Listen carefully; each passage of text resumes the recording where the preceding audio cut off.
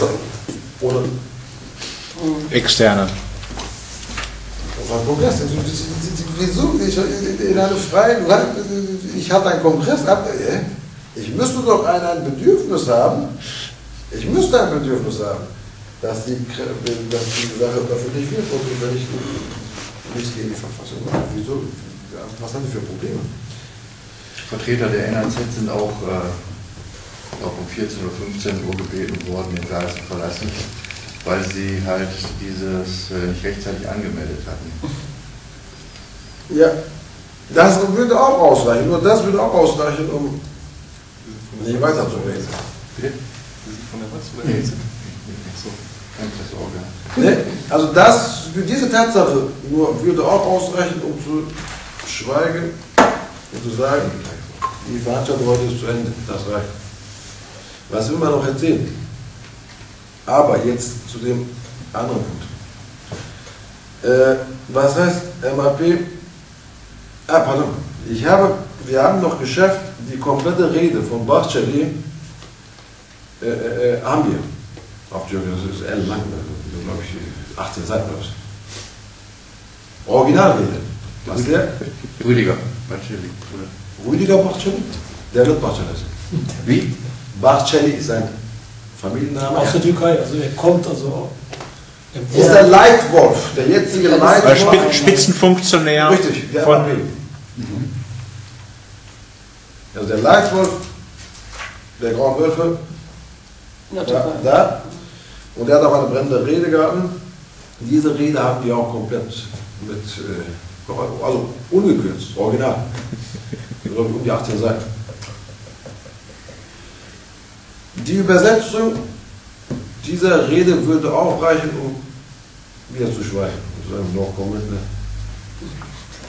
Nein, das ist, ich, ich sage das Ja. sarkastisch, ich sage das auch nicht ironisch, das ist, das, das, das ist Tatsache dass die ganze Gesellschaft, nicht nur die Medien, dass die ganze Gesellschaft auf dem rechten Auge blind ist. Das will man über die Geschichte von Erwin gut. Aber ich finde es schade, MAP, Graue Wölfe, Graue Wölfe, Kommando Einheit. Der Satz, der Satz, Faschismus ist keine Meinung, sondern ein Verbrechen. Ich weiß nicht, von wem dieser Satz historisch stammt. Ich glaube von einer sozialistischen Jugendorganisation aus Österreich. Hat die irgendwo mal. Kann sein, weiß nicht. Aber der Satz ist wirklich, äh, sagt eigentlich alles. Ist keine Meinung, sondern ein Verbrechen. Und die Geschichte de- des Faschismus ist, besteht aus Verbrechen. Ja, ist eine richtige Losung, aber äh, wenn wir den Faschismus verurteilen oder das Wort bekämpfen will, äh, formuliere ich lieber vorsichtig, aber verurteilen wollen und dagegen eingehen wollen, äh, reicht es auf jeden Fall nicht aus, den Faschismus äh, lediglich äh, moralisch zu verurteilen.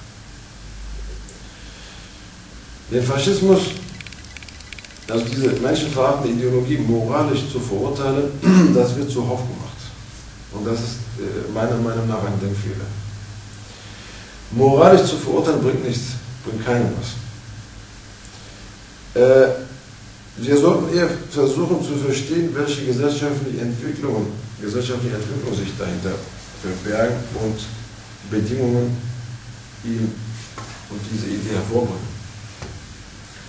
Welche Kräfte diese Machenschaften und diese, diesen Faschismus unterstützen und welche Rolle der Faschismus heute spielt und welche Rolle der Faschismus in Zukunft spielen wird. Um das zu verstehen, müssen wir in die Vergangenheit zurück. Ähm, das heißt, wir dürfen nicht den Fehler machen, den Faschismus auch MAP oder Graue Wölfe oberflächlich uns anzuschauen, sondern diesen gesellschaftlichen Kontext zu begreifen. Und den Satz, äh, ich weiß nicht, wo ich den hergeschnappt habe, wer nicht aus der Geschichte lernt, ist verflucht, die Geschichte zu wiederholen. Und das ist eine Tatsache. Das ist eine historische Realität. Wer aus der Geschichte nichts lernt, ist verflucht, die Geschichte zu wiederholen. Das heißt, es geht, eigentlich möchte ich heute nur die historischen Wurzeln analysieren oder mit euch besprechen. Wenn wir diese historischen Wurzeln nicht verstehen, können wir auch die MAP und die Grauen Wölfe heute nicht verstehen. Die Grauen Wölfe sind, existieren nicht seit zwei Jahren, fünf Jahren oder seit diesem, dieser Friedensdemo. Ähm, und die Grauen Wölfe zu analysieren heißt, oder dafür ist es unumgänglich, die türkische Geschichte bis zur Bewegung der sogenannten Jungtürken in der Zeit der Jahrhundertenwende sich vor Augen zu halten. Jungtürken. Übersetzt heißt das wirklich Jungtürken. Auf Türkisch Jön, Türk. Übersetzt Jungtürken. Das heißt, wir müssen ansetzen in der Zeit, wo das Osmanische Reich auseinanderbricht oder zerbricht. Äh, in dieser Zeit gab es die sogenannte jungtürkische Bewegung, nachher hießen die Jöntürk, Jungtürken. Äh, die haben schon damals angefangen, einen entscheidenden Einfluss auszuüben in der Phase des Auseinandergehens und Auseinanderbrechens des Osmanischen Reiches.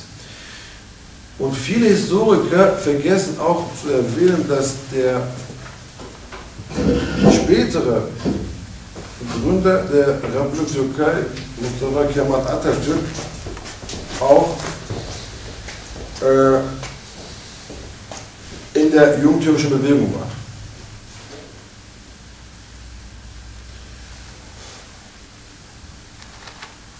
Diese jungtürkische Bewegung oder Jöntürkler war bestrebt, quasi die Reste des Osmanischen Reiches,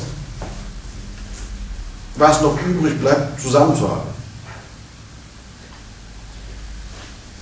Äh, aber was war das Ziel der Jöntürk oder Jungtürken? Und zwar zum ersten Mal, das ist jetzt was Historisches, Da hat zum ersten Mal die sogenannte Zwangsassimilation angefangen. Und die Idee einer Zwangsassimilation, eine Zwangsassimilation aller im damaligen Gebiet lebenden Völker, das heißt, sprich Türkisierung aller Armenier, Araber, Bulgaren, Kurden und andere Völker, die auf dem Gebiet leben. 1908 kamen die Jönte oder die Jungjungen an die Macht. Das wird auch sehr oft vergessen in der Geschichte oder in der europäischen Geschichte, wenn man über, über die Geschichte der Türkei spricht. In der europäischen, ich habe auch als Abiturfach Leistungskurs Geschichte gehabt. Äh, wenn man über Türkei spricht, heißt es einmal Osmanisches Reich und auf einmal kommt Jesu Geburt 1923 Republik, der Republik Türkei. Aber was war dazwischen? Darauf geht man grundsätzlich auch in der Presse und in der Öffentlichkeit, in der öffentlichen Diskussion nicht ein. Wie kam es dazu? Aber was gab dazwischen? Es gab doch irgendwie. Ne? 1908 übernehmen die Jungtürken mit dem Ziel der Zwangsassimilierung zum ersten Mal. Eine Zwangsassimilierung unter Reich gab es nicht. Daher ist es erwähnenswert.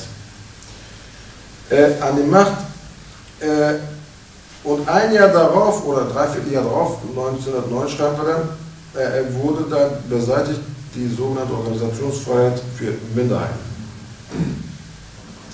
Und aus manchem Bereich gab es kein Organisationsverbot äh, für Minderheiten. Zum ersten Mal 1909, nochmal, die haben das Ziel gehabt der Zwangsassimilierung. Schon mit ihrem, ihrer Gründung. 1909 Organisationsfreiheit für Minderheiten abgeschafft. Zum, und viele denken, die türkische Sprache wurde zur offiziellen Sprache mit Gründung der Republik Türkei 1923. Das ist auch ein historischer Denkfehler. Das ist ein historischer Denkfehler 1909. Wurde die türkische Sprache zur offiziellen Sprache. In allen, auf allen Verwaltungsebenen. Äh, erst mit dieser Basis wurde die Verbreitung des, das heißt auch in der Literatur, Literatur Tyrannismus ermöglicht oder begünstigt zumindest. Das heißt, mit dieser Politik der Zwangsassimilation von Minderheiten wurde Grundstein gelegt für die Verbreitung des Tyrannismus. Was heißt Tyrannismus? Also wir haben aber jetzt den Begriff der Jeune-Türken oder Jungtürken. Jetzt kommt dieser Begriff des Tyrannismus. Äh, mit Turan ist die Einheit aller Turkvölker gemeint. Ne? Aber was ist Einheit? Von Innerasien bis, bis, bis zum Balkan. Das ist kein groß, keine, keine 10 Kilometer. So. Also damit wurde der Grundstein für diesen Tunanismus gelegt. Träumen ist erlaubt. Ja? Äh, einer der Vordenker des Turanismus oder einer der bekanntesten Turanisten war ein gewisser Sia Gökalp, der auch von dem auch der Satz stammt. Also wir reden nicht von 1923, in der Türkei. Wir reden von 1908, 1909. Vor den Richtig, ne? das, das ist das Also in der, in der Zeit des Osmanischen Reiches noch. historisch sehr wichtig. Er erklärte, also ein Denker der Turanisten, vorn die Flagge in der Hand, das Bajonett. Also vorn die Flagge, die, Flagge, vorn die Flagge in der Hand, das Bajonett, im Herzen Gott.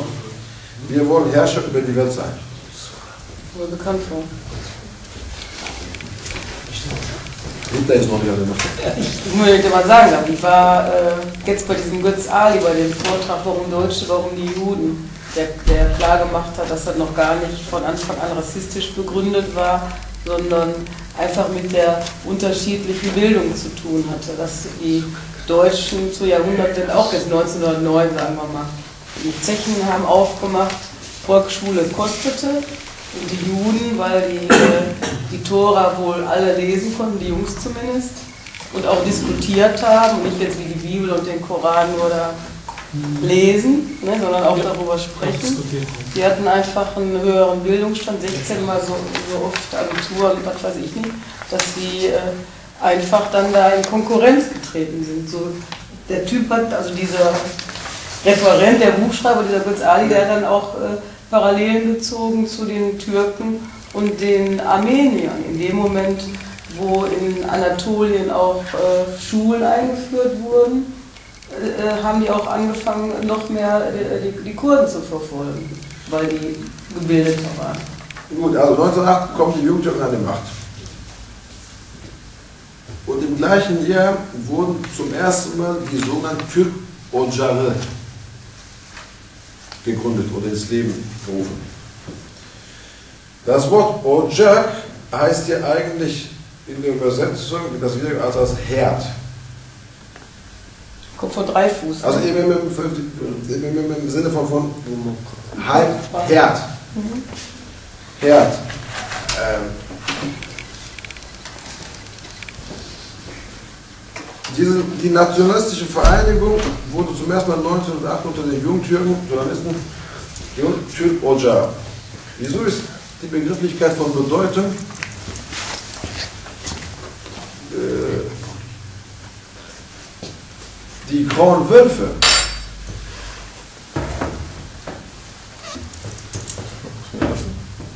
die sind ja vereinigt in diesen sogenannten Idealistenvereinigungen.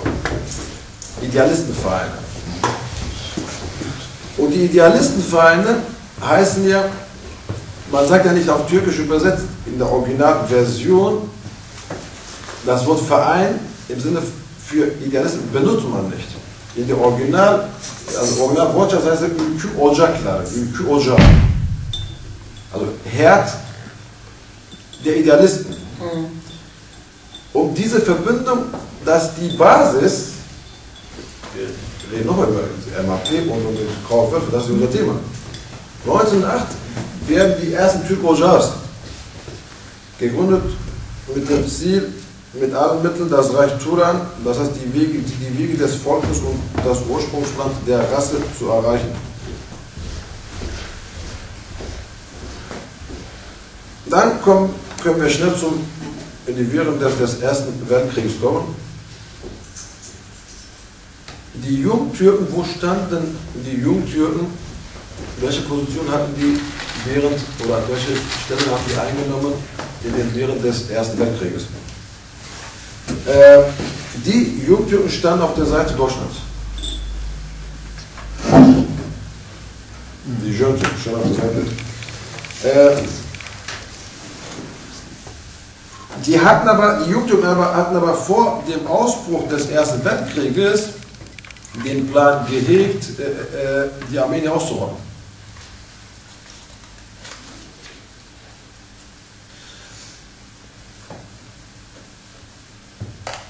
Die hatten vor dem Beginn des, des Ersten Weltkrieges den Plan gehabt, die anders aussehenden armenischen Menschen auszurotten. 100.000 Armenier blieben übrig von insgesamt 2 Millionen im Osmanischen Reich. Mann.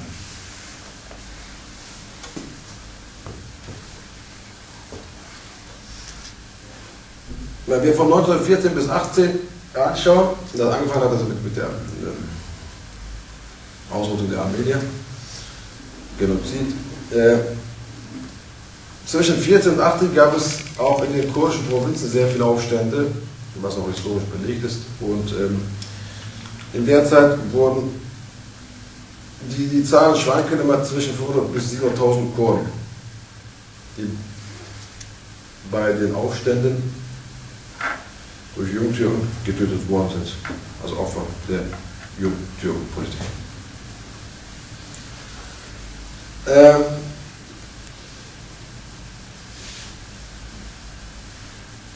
aber der Erste Weltkrieg hatte auch gleichzeitig, wenn man diese zeitliche Ebene sieht, äh, auch das Ende des Osmanischen Reiches hat ja mit sich gebracht. Rein, rein zeitlich. Äh, da haben wir den Ersten Weltkrieg hinter uns. Vor der Gründung der Republik Türkei 1923 hat natürlich das ja nicht äh, in einer Nacht- und Nebelaktion an die Macht bekommen.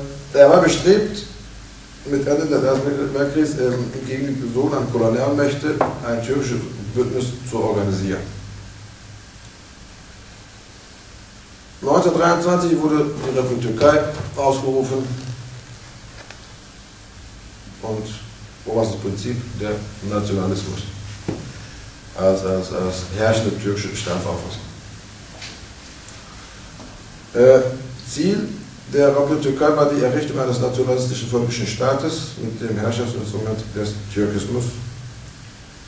Herrschaftsinstrument des Türkismus, Türkismus bedeutet dann direkt ähm, oder unmittelbar die Existenz aller anderen Völker wird negiert. Das bringt ja dieser Satz mit sich. Also ein komplett anderes Verständnis als im Osmanischen Reich. Richtig. Wenn ich sage, ich gründe jetzt einen Staat mit dem, also Instrument Türkismus, das heißt, das hat, also wenn man den Gedanken weiterfolgt, das ist unmittelbar zur Formel, dass andere, dass überhaupt die Existenz von anderen negiert wird. Mhm. 24 wurden dann die ersten kurdischen Schulen in der Türkei verboten.